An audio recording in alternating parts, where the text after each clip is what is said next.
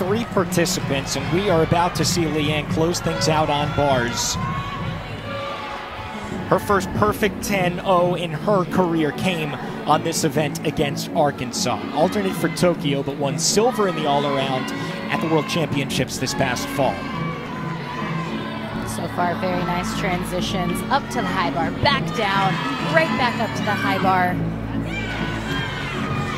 Flum still does not have a 9-9 yet. 9825 for Trinity Thomas.